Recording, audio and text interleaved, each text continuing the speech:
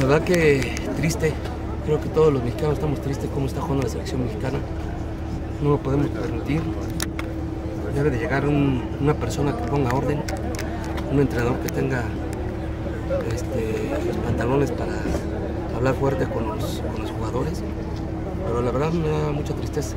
¿A, a ti te gustaría, Cuauhtémoc, te vas a preparar después de ser gobernador para ser entrenador? Pues puede ser, yo lo he manifestado, este, lo he manifestado. Eh, todo llegará a su tiempo. Me encantaría un día, como se los he dicho, lle- llegar a la América, llegar a la selección de, México, ¿por qué no? Pero con resultados. Este, hay que prepararse, yo lo he dicho desde hace mucho tiempo,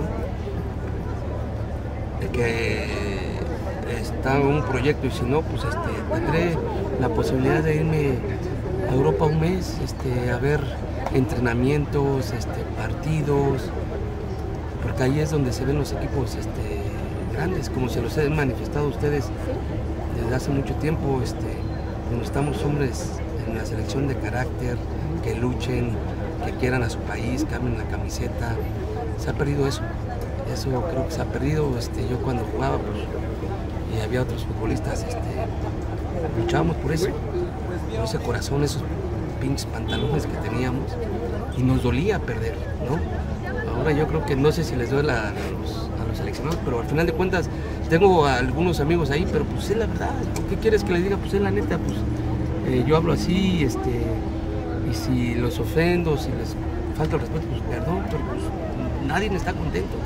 Falta Nadie. carácter entonces. en la Hace falta hay que hacer, eh, como, se los dije, eh, como se los dije, hay que sacar jóvenes de fuerzas básicas, eso es lo que nos falta.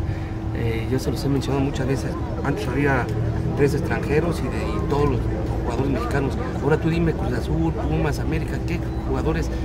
Bueno, eh, ni el América tiene este un jugador mexicano que esté jugando, todos vienen de afuera y todos son extranjeros.